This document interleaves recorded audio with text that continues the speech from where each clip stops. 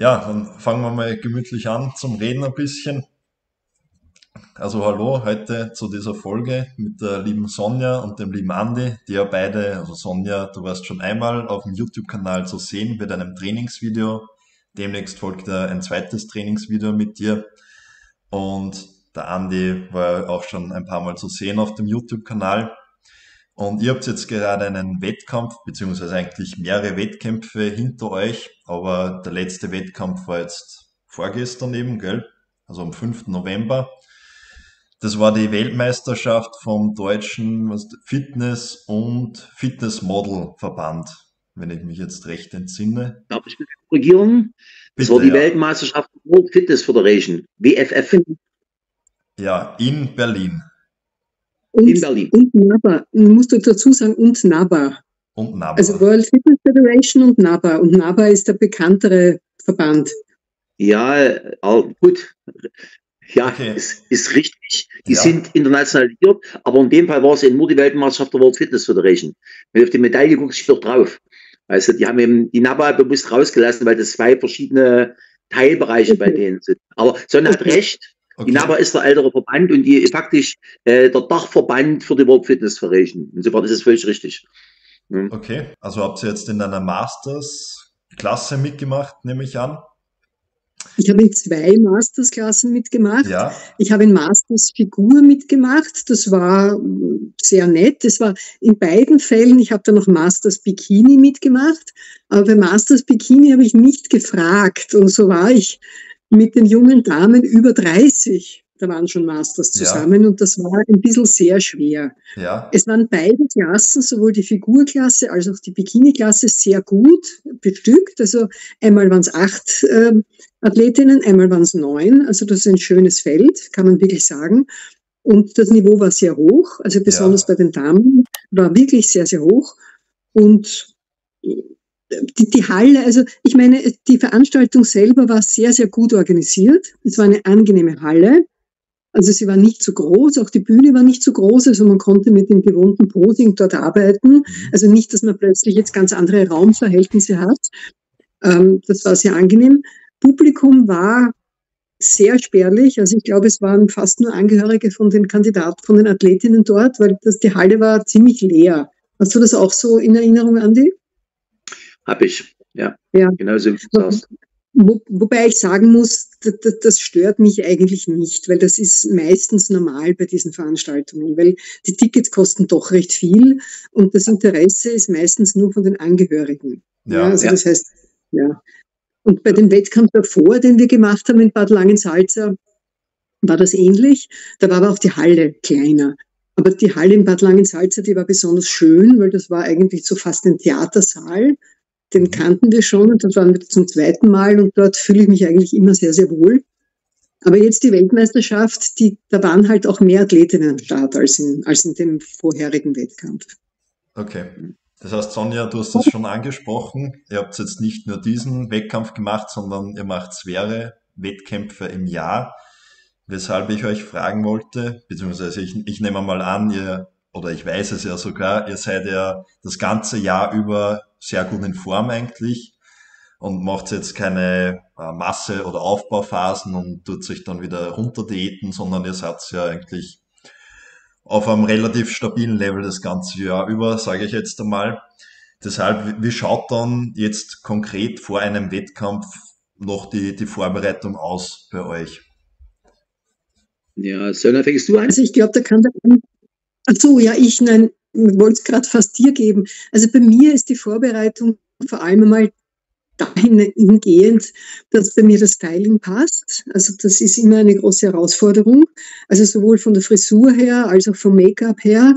Und dass ich da, wenn das jetzt nicht in Wien stattfindet, immer alles gut genug eingepackt habe und mir das vom zeitlichen Ablauf her genau, auch mit dem Tanning genauso überlegt, dass das dann auch passt. Also man kriegt da so einen Zeitablauf bei jedem Wettkampf und da muss man schauen, dass man rechtzeitig also die Farbe drauf bekommt, also das sogenannte Tanning. Und, und das Make-up ist sinnvollerweise nach dem Tanning und die Frisur normalerweise auch und dass man dann halt rechtzeitig auf der Bühne ist. Also das ist meine Vorbereitung. Du meinst Vorbereitung trainingstechnisch oder ernährungstechnisch? Genau, ja. Also diese Vor bei dieser Vorbereitung äh, nehme ich eigentlich keine Änderungen vor. Das heißt, solange ich vorher kann, trainiere ich ganz normal meinen Plan weiter.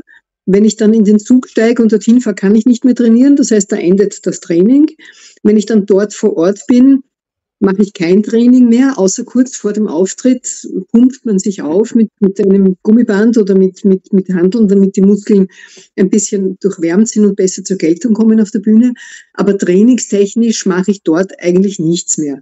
Und ernährungstechnisch nehme ich eigentlich auch keine Änderungen vor, aber es ist so, dass ich mein Essen mitnehme. Also ich pack's ein und hab's immer vor Ort. Also ich zähle auch dort meine Kalorien. Und wenn der Wettkampf vorbei ist, dieses bei vielen Athleten so beliebte äh, Belohnungsessen nachher, also das findet bei mir nicht statt. Das okay. einzige, was am selben, ja, das einzige, was am selben Tag ist, ist äh, ab der Früh weg trinke ich nichts mehr. Also vor allem auch, wenn ich dann den ganzen Tag im Bikini stehe und dann, wenn das Figurbikini hinten über Kreuz geschlossen ist, ist es sehr schwer, das zu öffnen. Also ich trinke den ganzen Tag nichts mehr. Und bei mir ist das Belohnungsessen eigentlich ein Belohnungstrinken, nicht? Also in dem Moment, wo ich von der Bühne runterkomme, stürze ich sofort zu einer Flasche Wasser. Ja. Und da, da ziehe ich mir dann mindestens einen halben Liter bis einen Liter Wasser rein, weil da bin ich dann schon sehr glücklich, dass ich was trinken kann. Ja, das ja. ist meine Vorbereitung. Der Andi hat es ein bisschen professioneller gemacht. Okay, Sage ich einmal. Bei mir ist es schon äh, eine Umstellung in eingeschränkterem Maße. Es war also in der Vergangenheit, bevor Sonja und ich ein Paar geworden sind, schon so, dass ich vor einem Wettkampf bis zu 20 Kilo abgenommen habe. Also wirklich Aufbauphase, Massephase hatte und dann in Diätphase. Die Diätphase dann mitunter ausgedehnt auf 8, 10, 12 Wochen. Ähm, das ist inzwischen vorbei. Für Bad Langensalz habe ich eigentlich überhaupt keine spezielle Vorbereitung gemacht, was Essen oder Trinken anging. Äh, für die Weltmeisterschaft dann doch. Das heißt also, äh, speziell in dieser letzten Woche vor dem Wettkampf, da gibt's eben dann äh, das letzte Beintraining am Montag, damit die Beine wirklich dann äh, am Wettkampf doch hart sind. Da gibt's also eine alte Regel aus den 80er, 90er Jahren noch. Äh, eine Woche kein Beintraining ist eine gute Voraussetzung, um die Definition dann zu bringen, damit eben faktisch keine Muskelreparaturen stattfinden, damit so faktisch auch keine Ödembildung im Bein ist. Also muss die Beine hart bekommen. Montag letzte Beintraining, auch letzte Bauchtraining, äh, dann Mittwoch oder Donnerstag das letzte Oberkörpertraining. Danach, als er gesagt, geht's in die Bahn.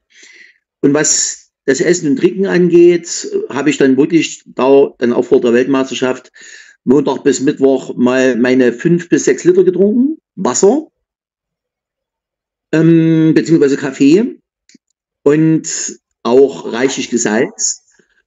Und dann ab Donnerstag das Ganze gekippt. Das heißt also, ab Donnerstag wurde dann die Flüssigkeitszufuhr reduziert. Freitag habe ich dann bewusst mal maximal noch einen Liter getrunken. Also auch nicht mehr so wie früher, wo man dann teilweise am Freitag bloß noch eine Tasse getrunken hat. Das ist mir zu gefährlich geworden. Äh, aber noch ungefähr ein Liter statt eben fünf Liter. Und dann eben auch wirklich äh, spätestens ab Freitag keinerlei Salz mehr. Das ist also die Manipulation von diesem Adiuretin-Aldosteron-Mechanismus. Will ich jetzt nicht so weit ins Medizinische gehen. Ja, du kannst auf diese Art und Weise äh, faktisch ähm, die Haut ein bisschen dünner bekommen, äh, indem du äh, dann wirklich das Wasser rausbekommst und gleichzeitig noch Muskulatur hältst. Äh, und außerdem habe ich dann äh, auch wirklich die Kohlenhydrate dann ab äh, Montag bis Mittwoch mal reduziert und ab Donnerstag dann angefangen wirklich aufzuladen mit Kohlenhydraten. Das macht sich wirklich ein bisschen bemerkbar. Ja. ja also das ist schon ein bisschen was. Ja. Hast du ein, so ein Cheat nach dem Wettkampf, wo du dann die Kohlenhydratspeicher wieder auffüllst? Also Cheat Meal in dem Sinne von einer Speiseeisparty, die es damit unter dann gab, habe ich nicht mehr. Also ich habe auch nach dem Wettkampf da kein Eis gegessen. Ich bin ja sowieso das ganze aber Vegetarier. Ähm, trinke auch kein Alkohol, ähm, also auch nicht gemacht. Aber ich habe dann mal wirklich nach dem Wettkampf beispielsweise mal, was habe ich gegessen, irgendwo ähm, äh, ein Stück Kuchen habe ich auch gegessen, aufladen. Oder mehrere sogar. an die Proteinschokolade. Ja, ich habe auch im Wettkampf dann mal äh, eine Flasche Saft getrunken. Okay. Ganz gefährlich. Also gestemmt, ja. Wie schaut es am, am, Wettkampftag selbst aus? Sonja, du hast schon gesagt, also man, man wärmt sie, man wärmt die Muskulatur dann ein bisschen mit Gummibändern oder vielleicht Hanteln oder im Handtuch oder so auf. Und ansonsten wartet man einfach ab oder was passiert da? Also die größte Herausforderung bei mir ist meistens abhängig von der Jahreszeit eigentlich nicht zu erfrieren, weil wenn man in die Tanning, in dieses, also ich mache immer das Spray-Tanning, also wie ich, man kann ja mit verschiedenen Methoden äh, sich bräunen. Entweder man macht selber mit dem Farbauftrag oder man geht zum Spray-Tanning. Ich gehe meistens zum Spray-Tanning, da ist die, die Firma Pro10 meistens vor Ort. Ich habe das ganz gern, weil das sehr praktisch ist, weil da braucht man selber nicht die Farbe mitschleppen und nicht mit dem Gummiroller stehen und so weiter. Und vor allem, es ist gleichmäßig aufgetragen. Aber das Problem ist, man geht da in so ein Zelt hinein und in dem Zelt muss man sich natürlich nackt ausziehen, weil das muss am ganzen Körper sein. Und da ist einem kalt. Und dann muss die Farbe trocknen und dann steht man vor so einem Lüftungsgerät und wird auch noch mit der kalten Luft angestrahlt. Also es ist immer ein Kampf gegen das Erfrieren, vor allem wenn man natürlich ausgehungert ist. Und dieses Mal ist mir die zündende Idee gekommen, ich habe so ein kleines Handwärmgerät so einen kleinen Ball, den kann man mit, mit einem USB-Kabel äh, aufwärmen und dann in der Hand halten und da geht ein bisschen Wärme raus. Und das hat mir komplett geholfen, ja. Ja, und dann stehst du, also, und dann wartest du in dieser Tanning Booth ungefähr 20 Minuten, bis du endlich trocken bist. Dann ziehst du dir den Bikini an und dann wartest du auf deinen Auftritt. Und dann bist du im Bikini. Das ist auch ziemlich kalt, ja. Also, und vor allem, du kannst dich dann kaum mehr niedersetzen, weil wenn es dich niedersetzt, ruinierst du die Farbe. Nicht, dass du stehst dann die ganze Zeit. Und wenn du Pech hast, stehst du auch noch in den Stöckelschuhen, weil wenn, die zieht man erst knapp vorher an, äh, damit man möglichst wenig in den Stöckelschuhen, mit denen man auf die Bühne muss, stehen muss. Aber es geht dann schon relativ an die Substanz, nicht? Also das ist irgendwie mühsam. So, so also, spricht eine streng katholisch erzogene Wiener äh, Kat äh, ne, äh, Katholikin, ähm, die steht Spinnerfaser nackt in dem Bräunungszelt und stürzt sich an, dass es so kalt ist. Also das, glaube ich, hat mit dem Katholizismus nichts zu tun, aber... Bei mir schon. Ja, weil mich hat das am Anfang wirklich gestört. Ich habe mich da geniert. Weil das ist wie beim Arzt, nicht? Beim Arzt, dem Arzt ist es auch egal, ja. Auch das glaubst du nur, ja. Egal, gut, okay. Okay, Andi, wie hast das du so erlebt oder wie erlebst du so den, den Tag des Wettkampfes selbst dann? Ja, immer als Belohnung. Ja. ja. Also am Wettkampftag ist dann das Schlimmste geschafft. Das war früher noch viel ausgeprägter, äh, wenn dann am Tag des Wettkampfes faktisch die Diät endete und die endet ja schon quasi vorher, wenn du anfängst aufzuladen. Ja, so, ja. da ist ja schon erstmal wirklich das Überleben erstmal sozusagen gewährleistet, dass du wieder was essen kannst. Das Problem ist nur, du musst das wenige Trinken überstehen. Aber das ist ja auch nicht mal so ausgeprägt. Das war ja mal viel schlimmer. Ne? Also man verhungert nicht mal, aber man verdurstet dann, im, im schlimmsten Fall. Ähm, auch das ist weitestgehend überstanden. Äh, und dann ist es mir eigentlich ganz angenehm, wenn ich dann irgendwo sehe, es sind nicht allzu viele Konkurrenten da, weil für mich ist Wettkampf immer erfolgreich, wenn ich bis zum Schluss dabei bin. Und diesmal waren wir also sechs Leute. Da habe ich mir dann gedacht, okay, wenn ich nicht von der Bühne falle, bin ich im Finale, weil sechs sind im Finale. Und das war mein Ziel. Und dann war abzusehen, ich gucke mir dann so ein bisschen heimlich meine Konkurrenten an. Ja, gut, du wirst wahrscheinlich ordentlich letzter werden. Vorletzter wirst du auch nicht. Und dann zähle ich mir mal so ein bisschen durch, wo ich ungefähr sein könnte. Und ich war auf nur Kampfrichter, um mich einigermaßen real einschätzen zu können. Und da war mir diesmal also schon klar, ich habe äh, zwei gesehen, da habe ich sofort gesehen, never ever, wie soll immer das formuliert, da kommst du nie vorbei. Also bis die günstigsten Falls Dritter. Und dann war einer dabei, dann guckte ich mal und dachte, naja, in Bad Langensalz bei der Deutschen hat er mich geschlagen. Diesmal bin ich besser in Form. Könnte klappen, hat aber nicht geklappt. Und damit war ich Vierter, aber damit kann ich gut leben. Also ich ja. war dann mit meinem Platz voll zufrieden. Und das ist immer so für mich ähm, das, das Wichtigste, wenn ich also schon im Vorhinein ungefähr absehen kann, dass ich im Finale bin. Weil es ist für mich unschön, wenn ich zum Wettkampf fahre und fliege der Vorrunde raus. Ja. Dann bin ich nicht bis zum Schluss dabei. Der Rest ist mir wurscht. Ich muss nicht gewinnen. Hauptsache ich bin im Finale. Aber es war haarscharf, Andi. Wirklich, es war haarscharf, ja. Also den, den dritten, den hätte ich dir auch ganz gern gegönnt, sage ich einmal. Also bei mir ist das Wichtigste... Kann, kann ich, kann ich, ich noch ganz kurz fragen, Andi, in, ja. in welcher Klasse bist du angetreten? Ich? Ja. Äh, Männer über 60, also wirklich Bodybuilding, ja, über 60. Also ja, die, die Hardcore-Variante, keine abgemilderte WFF-Variante und die mit Leistung oder Athletik oder so, sondern wirklich Männer über 60. Okay. Und, und Sonja? das andere war, da war einer dabei, ähm, den kannte ich noch aus, kein Witz, aus der DDR. Okay. Aus einer Zeit, als Mauer noch stand.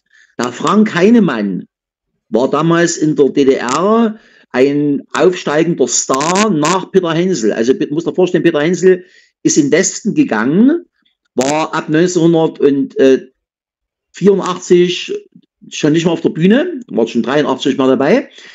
Ähm, und jetzt war die Frage, wer wird sein Nachfolger im Schwergewicht? Und da war in Berlin ein gewisser ähm, Rolf Weber, der sich das erhofft hatte, ähm, nachdem ein kurzfristiger äh, Nachfolger äh, aus Brandenburg wieder weg war. Und der Rolf Weber ist aber nicht geworden, weil plötzlich ein Frank Heinemann aus Thüringen aus der Versenkung kam und den Rolf Weber auf der Bühne regelrecht deklassiert hat. Also der Frank Heinemann war wirklich da ein begnadeter Schwergewichtsnachfolger gewesen, Schwergewichtsmeister.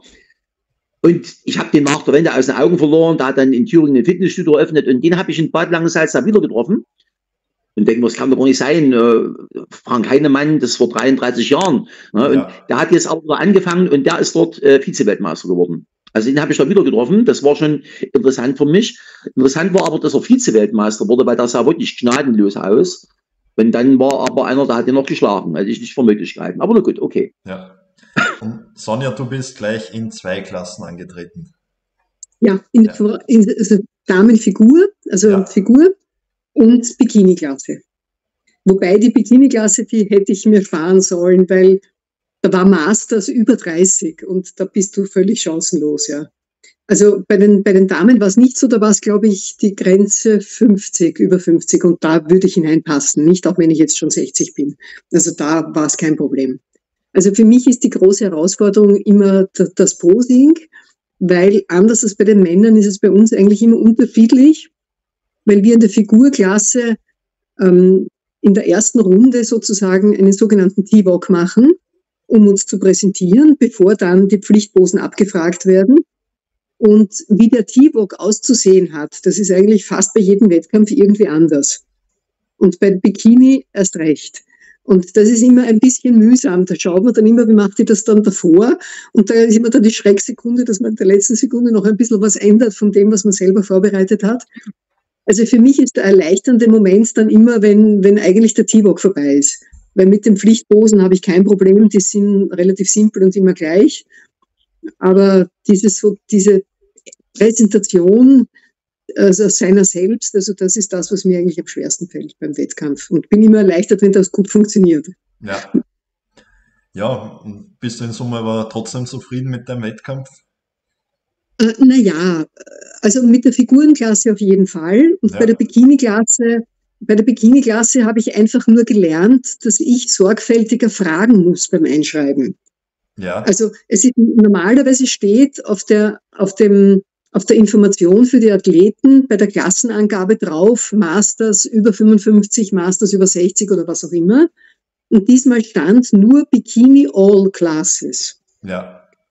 Und All Classes, da habe ich mir automatisch gedacht, das ist halt Masters, so wie bisher. Und ich hätte aber fragen sollen.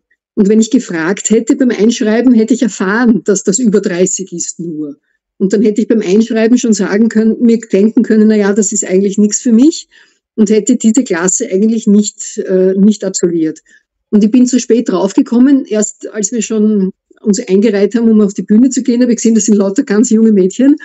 Und da bin ich erst draufgekommen und da wollte ich jetzt dann nicht mehr äh, die Leute hängen lassen, weil da war ich schon eingeschrieben und dann, dann hat der Kampfrichter schon meinen Namen und dann werde ich aufgerufen, komm, geh nicht auf die Bühne, also das kann ich nicht machen. Und deswegen habe ich es gemacht. Aber das war mir dann unangenehm, weil da habe ich irgendwie nicht hineingepasst. Ne? Aber das war mein eigener Fehler. Ich hätte einfach jedes Detail muss man erfragen, also wenn du vorher nach der Vorbereitung gefragt hast. Ja. Man muss halt einfach immer mitdenken und jedes Detail das sorgfältig überprüfen und das habe ich halt nicht gut genug gemacht. Ne? Aber sonst, es war eine wirklich gut gemachte Veranstaltung. Man trifft dann immer sehr viele Leute, die man schon kennt und also zum Beispiel ist eine von uns befreundete Athletin gekommen, deren Freundin so äh, Fitnessbegleitung herstellt mit so Straßsteinen und die hat dort einen Stand aufgebaut gehabt und die sieht man, weil die halt auch in Deutschland leben und ich bin Österreicherin, sehe ich halt die nur sehr selten. Und das macht immer große Freude, wenn man dann diese Leute wieder trifft und ja. wieder sehen kann. Und und insofern ist es auf jeden Fall eine, eine gelungene Veranstaltung gewesen. Und schon allein, dass ich es mit Andi machen konnte, ist ja auch, auch was, was besonders Schönes, wenn man das mit dem ja. Lebensgefährten teilen kann. Ne? Ja, schon auf jeden Fall schöne Schlussworte. Danke für eure Eindrücke mhm. und ja. hoffentlich sehen wir uns wieder bei weiteren Videos. Aber ich zeige jetzt noch die Medaille her. Die muss ich noch herzeigen, Sowieso. weil da steht Berlin 23 und das steht auch auf der Schleife und wir haben eine ganz tolle Urkunde bekommen. Die halte ich jetzt auch noch in die Kamera. So. so auch ein, ein eine bisschen, Erinnerung. Ein bisschen, ein bisschen nach rechts noch. So? Ein bisschen rauf. Ja, so, jetzt. Ja. Dann Danke. kann ich schon meine Demonstranten sparen, ich habe dieselben. Do it! Do it! Come on, come on!